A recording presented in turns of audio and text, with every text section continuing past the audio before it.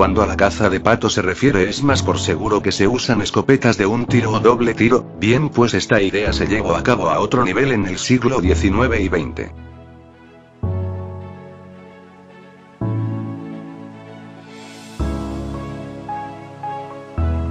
Una escopeta de barca o Puguneninges se refiere a un tipo de escopeta muy grande utilizada en el siglo XIX e inicios del siglo XX para cazar grandes cantidades de aves acuáticas, disparando contra bandadas enteras de estas de manera muy eficaz. Las escopetas de barca eran generalmente hechas a pedido para el gusto del comprador y eran muy variadas, pero podían tener calibres superiores a 51 milímetros, 2 pulgadas, y disparar más de 450 gramos, aproximadamente una libra, de perdigones. Un solo disparo podía acabar con 50 aves acuáticas posadas en la superficie del agua.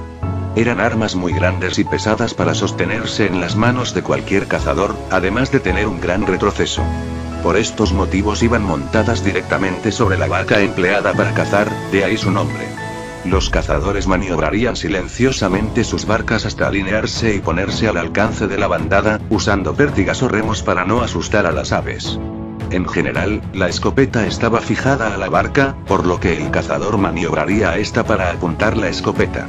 Como las escopetas eran bastante potentes y las barcas eran pequeñas, el disparo usualmente hacía retroceder la barca varios centímetros.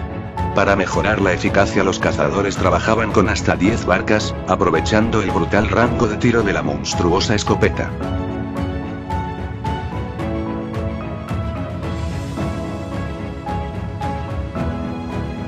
En Estados Unidos, este tipo de cacería redujo de manera muy drástica la población de aves acuáticas y para la década de 1860 la mayoría de los estados prohibieron su uso. El Acta Lacey de 1900 prohibió el transporte de piezas de caza entre los estados, mientras que la cacería comercial fue prohibida por una serie de leyes federales en 1918.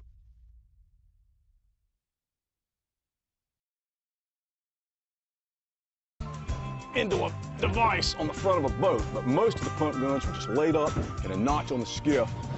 The gunner laid down with, with the buttstock running down his body, and he was paddled a small. We do have video. We don't have to imagine what it was like to pull the trigger on a big boy.